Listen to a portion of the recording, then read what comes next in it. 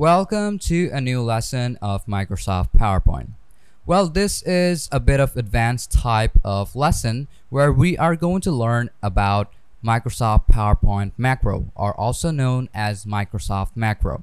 Well, this macro is like a bit complex, but when you like literally see the video fully, you will eventually know what macro does and you know that macro is like very important, okay?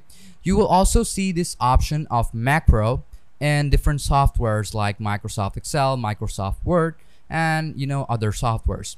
But macro is like a specific type of you know tool which is most of the time seen or used in Microsoft Excel, Microsoft PowerPoint, and also Microsoft Word. But before getting into the lesson, I'm going to give you a short brief of what macro is and why is it basically used. So a macro is a series of commands and instructions that you group together as a single command to accomplish a task automatically. So what are macros used for? Macros enable you to add functionality to forms, reports, and controls without writing code in a Visual Basic for application, which is also VBA. Well, if you've seen my Microsoft Excel videos, then you know what macro actually does. Okay, so what is an example with macro? Okay, I'm also going to give you practical examples too right now, but as I'm giving you a brief, well, you should learn about it too.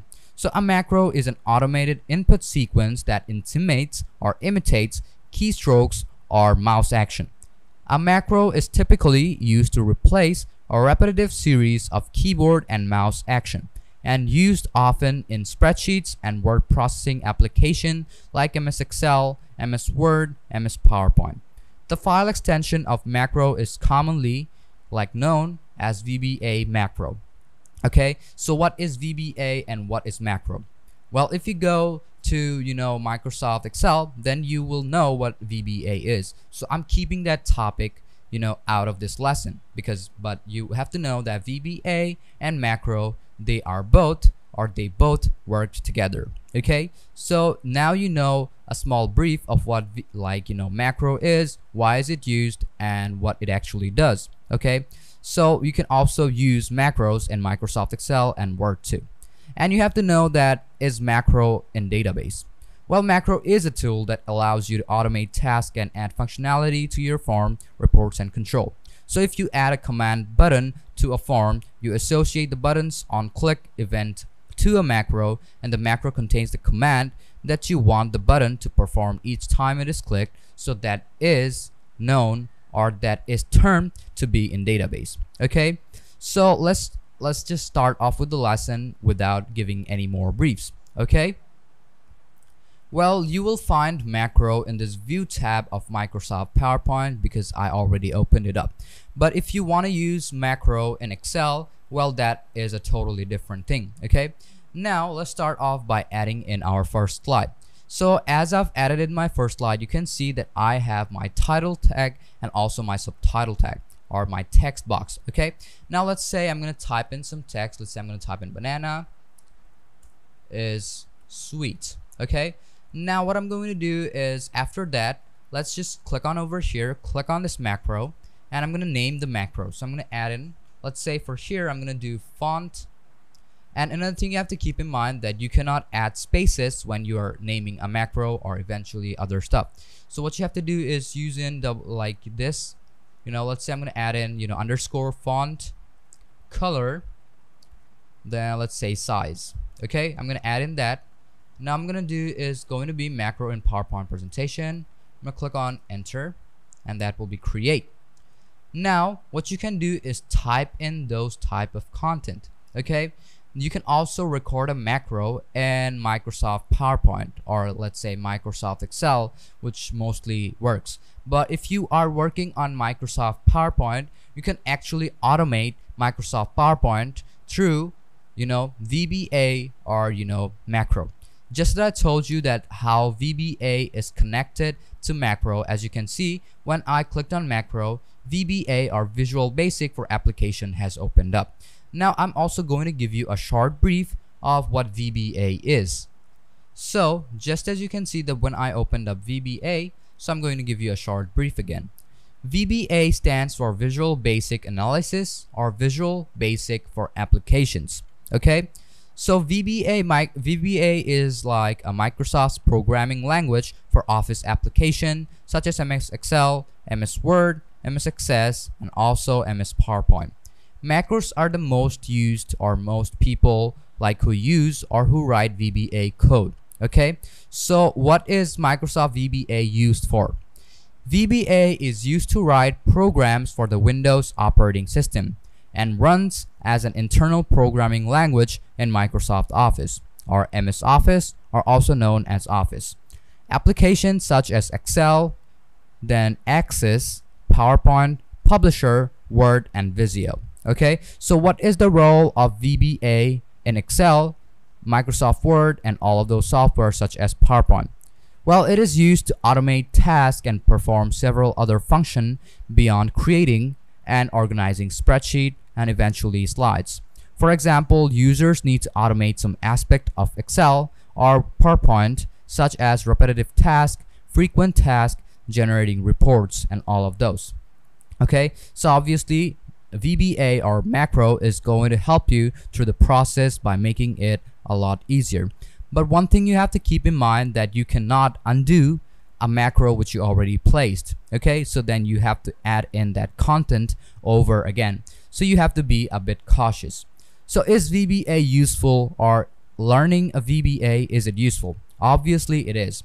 As digital technology is an inseparable part of modern data collection and analysis process, Visual Basic for Application or VBA skills are important in most fields. Recru recruiters frequently look for key VBA development skills when reviewing resumes. So when you think about coding or like you know that VBA is also in database so it is a code right? So you might compare it to Python CSS and all of those right? C++ so you have to keep in mind that VBA is a bit complex because you have to type in all of the data all by yourself and do all of the tasks all by yourself. So we can say that some of the code such as Python CSS all of those are a bit easier to learn and master unlike Excel, VBA, or PowerPoint VBA, which includes personalized language known as VBA that is complex to master and execute.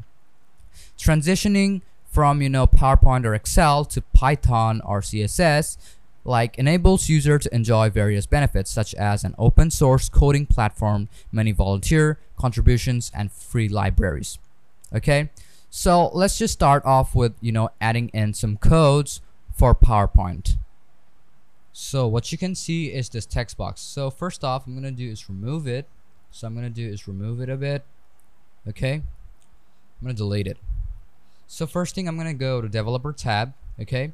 So you can get this developer tab turned on by going to file, going to option, and you will go to, you know, customize ribbon or quick access tool and click on developer from over here and press on OK and you will have your developer tab. So first what I'm going to do is add in some text box. So let's say I'm going to add in text box 1, enable ActiveX, and I'm going to add in a couple more of these text boxes. 2, text box over here, and another text box over here. Okay, now I have four text boxes. Now what I'm going to do is use VBA to automate it and obviously it is not very simple. But you have you just have to follow a couple of my steps okay? So let's say this is going to be a command button. So if I want to do that I'm going to do like remove it. I'm going to click on command button 1 okay? So let's say this is command button 1 now what I'm going to do is go to macro okay? So first things first I'm going to do is see you know the property. So I'm going to click on over here. And what you're going to do is property sheet. So when you click on property sheet, this interface will open up. So from here, I'm going to see the name, which is going to be text box one, which is like very simple, right? So, and the next one is going to be text box two, and this is going to be text box a bit different, text box four. So I'm going to go to VBA now. So I'm to go to VB, which is also Visual Basics. So on my slide one, I'm going to go to modules. On my modules, you will see that this interface will open up, okay? Which is also from slide one. You can also do it from over here but I'm going to start from this module which I'm already activating it so first off what I'm going to do is type text box okay So let's say I'm going to type in text box. Let's type in text box. Then what I'm going to do is type in text box, whichever one I'm going to select. So let's say I'm going to select on this one if I want it to be this one, which is going to be command button. This is text box 1, text box 2, and text box 4. So let's say I'm going to type in to be text box a bit different. Okay, I'm going to delete this. I'm going to click on text box again. I'm to add another one. Now I can see that this is text box 3 okay so as I'm not gonna like leave any numbers behind okay so I'm gonna I can keep all of it arranged so I'm gonna do is type in text box 3 then I'm gonna type in dot value Okay, I'm to click on macro or VB, text box tree, dot, then I'm to type in value, V A L U E. Okay, you can add that. But if you don't want to do that, just click on a, a bit of space, text box tree, value, equal, equal. Okay, I'm going to type in equal. I'm going to type in text box 1 value text box 1 dot value okay which is like very simple now what I'm gonna do is press on enter and now I'm gonna type in or maybe something else over here. Let's say and. And. Text box 2 value. To dot value. Okay this is going to be equal. And I'm gonna hit an enter and I'm gonna save it. I'm gonna press on OK I'm gonna keep it to be over here. And now let's say I'm gonna do a bit something else. Now when I save it when I'm gonna double tap on it okay double tap on the save and you will say like this will appear up to be a bit different okay? Sometimes you can save it to be pptx and all of those but it's already saved so you don't have to worry about it. Now what I'm gonna do is going to be going on presentation mode okay? I'm gonna click on over here go to presentation mode and you will see that this you will be able to add in your data over here. So I'm gonna do is type in one two three four. I'm gonna do it over here too. One two three. Let's say from here let's say five say eight five. Okay? I'm gonna keep it to be something like this. Now what I'm going to do is make something else. I'm gonna keep it over here. Let's say I'm gonna keep it right over here and make another one. Let's say I'm gonna make a scroll bar. So I'm gonna keep the scroll bar to be over here. Okay which is going to be a bit large but you can also make it according to your desire. So I'm gonna click on delete now. I'm gonna make it again okay? So you don't have to worry that much because this is like very simple to do. Okay you're gonna find out this section. Let's say I'm gonna make this one okay? So I'm gonna create it by dragging it down. Now what I'm going to do is make another text box. So I'm gonna add another text box over here and now you can see that this is my text box so what I'm gonna do is see this over here. I'm gonna go is click on property sheet and you can see this is scroll bar one. So I'm gonna do is copy this okay? I'm gonna copy and then the value you will see that there is different type of values okay? Value zero and all of those.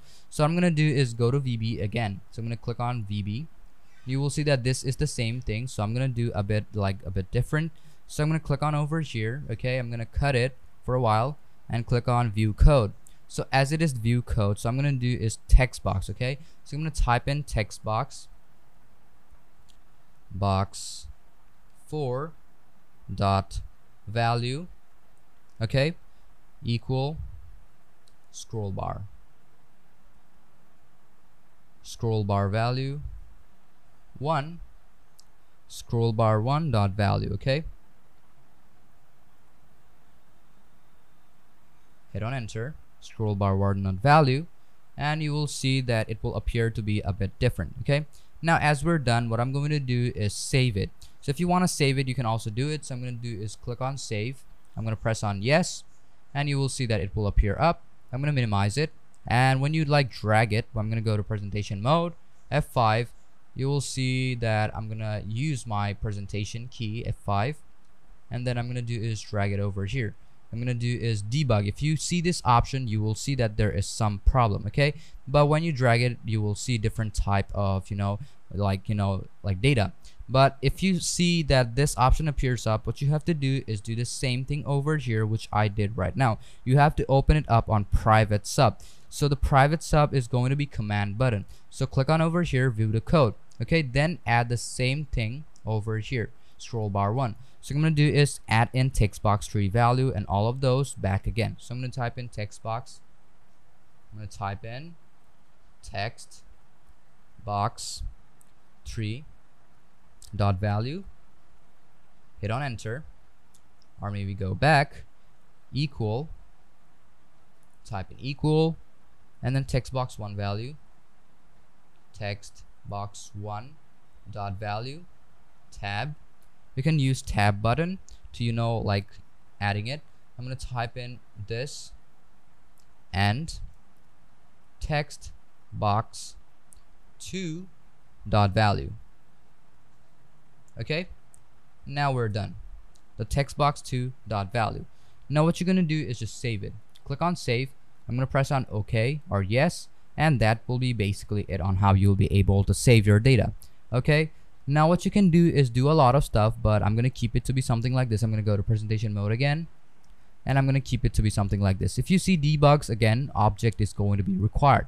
So what you have to do is fix on the runtime. What you're gonna do is go over here and then select on text box one value. So what you're gonna do is just paste on it which is going to be you have to see some messages which are you know sometimes like you know which is making some problems. So I'm gonna do is text box one value hit on enter and that will be basically it.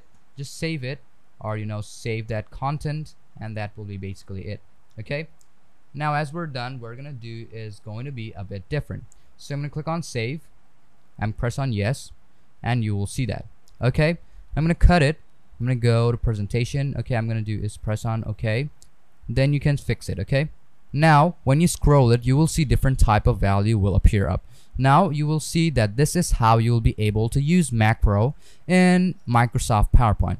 Well, you might think that this is a bit complex, but what you have to do is just follow the same type of steps, which I did, and you are good to go. And keep that in mind that what you're gonna do is click on command button 1, and whenever you're adding a content or fixing a content, click on them, and then go to view code, and then add in the content over here but instead of opening VBA okay? So that is how it's going to work so hope you guys like understood everything in this lesson about macro. And obviously you know that this is a bit of you know advanced type of macro in PowerPoint because obviously in Power like you know Microsoft Excel and Microsoft Word you are able to record it. But in PowerPoint you are not able to record it. You have to paste in the data by yourself.